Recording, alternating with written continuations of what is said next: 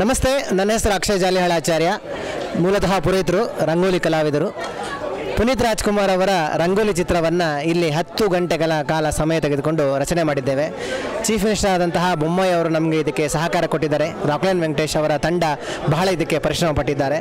ಹಾಗಾಗಿ ಇವಾಗ ನಾನು ಅವರು ಇರಬೇಕಾದ್ರೆ ಪುನೀತ್ ರಾಜ್ಕುಮಾರ್ ಅವರ ರಂಗೋಲಿ ಚಿತ್ರ ಬರೀಬೇಕು ಅಂತ ತುಂಬ ಪ್ರಯತ್ನ ಪಟ್ಟಿದೆ, ಬಟ್ ಅದು ಅಷ್ಟು ಮಾಡಲಿಕ್ಕೆ ಆಗಲಿಲ್ಲ. ಈಗ ಅವರು ನಿಧನರಾದರು ಅಂತ ವಿಚಾರ ತಿಳಿದಾಗ ಭಾಳ ಮನಸ್ಸಿಗೆ ಬೇಜಾರಾಯಿತು ಚೈ ಇದನ್ನು ಮಾಡ್ಲಿಕ್ಕೆ ಆಗಲಿಲ್ಲಲ್ಲ ಅಂತ ನಂಗೆ ಮನಸ್ಸಲ್ಲಿ ಬಂತು. ಅದು ಹೇಗೋ ಅವರಿಗೆ ತಿಳಿತ ಗೊತ್ತಿಲ್ಲ. ಈ ರೀತಿಯಾಗಿ ವ್ಯವಸ್ಥೆ ಎಲ್ಲ ಮಾಡಿ ನನ್ನ ಈ ರೀತಿಯಾಗಿ ನನ್ನ ಕೈಯಿಂದ ಅವರು ರಂಗೋಲಿ ಚಿತ್ರವನ್ನು ಅವರೇ ಬಿಡಿಸಿಸ್ಕೊಂಡಿದ್ದಾರೆ.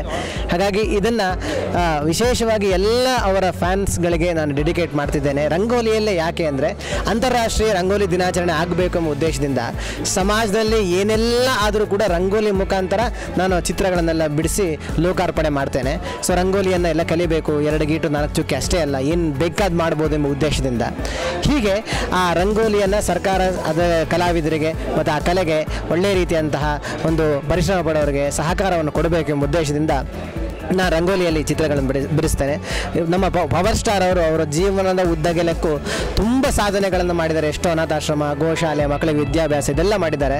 ಸೊ ಅವರ ಪವರ್ ನಮ್ಮೊಳಗೆಲ್ಲ ಈಗ ಬಂದಿದೆ.